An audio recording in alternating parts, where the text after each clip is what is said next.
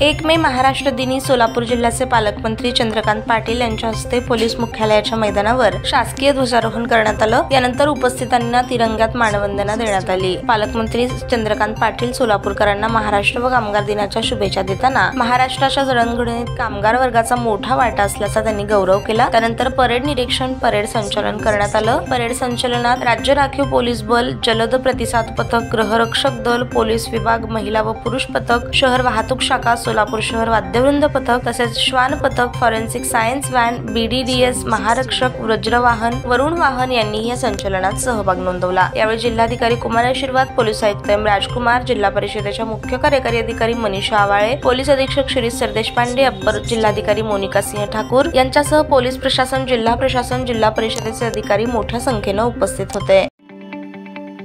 ताज्या बातम्या पाहण्यासाठी प्राईम महाराष्ट्र न्यूज चॅनलला सबस्क्राईब करा.